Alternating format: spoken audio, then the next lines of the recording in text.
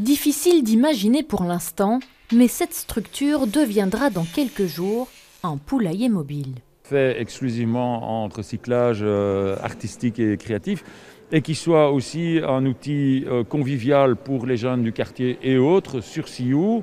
Le fait qu'il soit mobile euh, de manière à ce qu'il puisse être pédagogique, que les jeunes se rendent compte que ben, les poules peuvent produire de l'engrais, qui servent au potager. Un peu plus loin, Solène et Alizé transforment ces palettes en bancs végétalisés. Là aussi, le projet est entièrement réalisé avec des matériaux récupérés. Le but sur Sioux, c'était de créer des zones euh, d'assises euh, conviviales et aussi de végétaliser le site. Et donc on a voulu fusionner les deux concepts pour en faire un seul. Et donc ça va être des îlots de bancs avec au milieu un module de végétation. Objectif de ces installations, redynamiser l'espace public du site CIU à XL. C'est le résultat d'un projet participatif avec les habitants du quartier.